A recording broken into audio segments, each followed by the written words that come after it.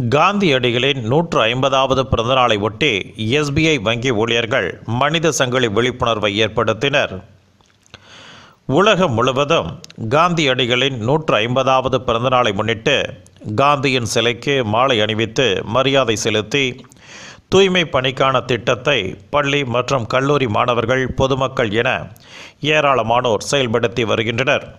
இதேபோல் கோவை எஸ்பிஐ வங்கி ஊழியர்கள் காந்தியின் பிறந்தநாளை முன்னிட்டு தூய்மை இந்தியா என்ற தலைப்பில் பிளாஸ்டிக் இல்லா இந்தியாவை உருவாக்குவோம் தூய்மையை நோக்கி ஒருபடி உயர்வோம் பூமியை பிளாஸ்டிக்கிலிருந்து காப்பாற்றுவோம் என்ற வாசகங்கள் கொண்ட பதாகைகளை ஏந்தியபடி நூற்றுக்கும் மேற்பட்டோர் தீயணைப்பு நிலையத்திற்கு முன்னுள்ள சாலையில் மனித சங்கிலி கொண்டு மக்களிடையே விழிப்புணர்வை ஏற்படுத்தினர்.